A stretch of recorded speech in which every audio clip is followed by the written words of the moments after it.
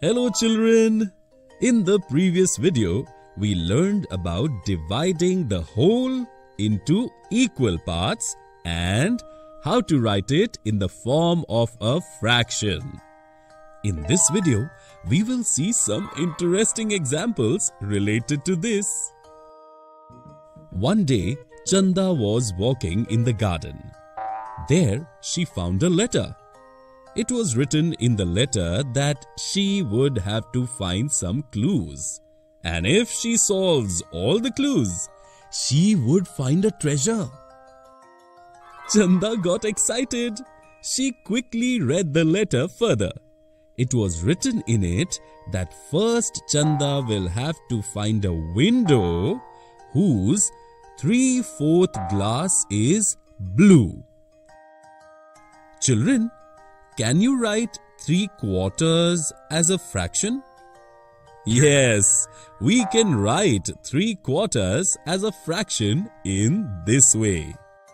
Children, do you remember that here the number 4 shows that our whole is divided into 4 equal parts and 3 parts out of them are blue. Now Chanda started looking for that window. She finally saw such a window. Are three-fourths of the glass in this window blue? You can stop the video to find the answer.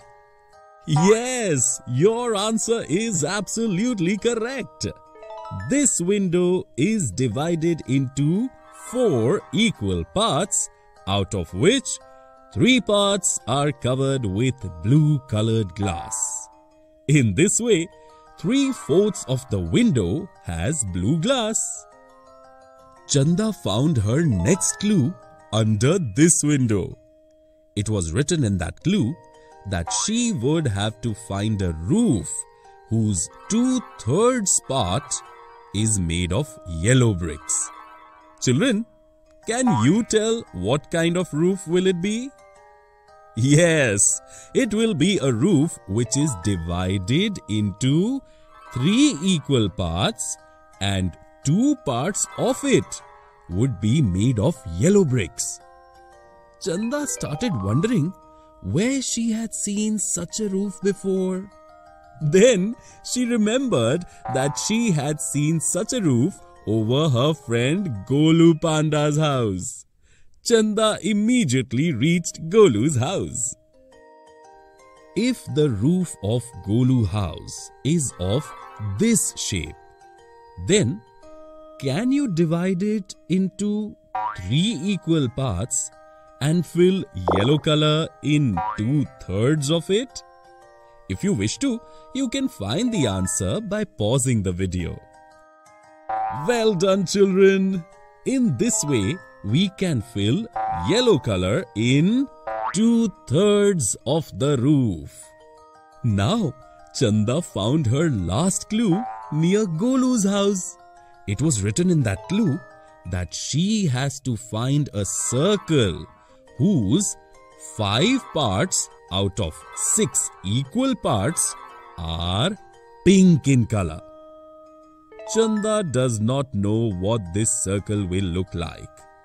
Can you help Chanda by making such a circle? You can find the answer by stopping the video.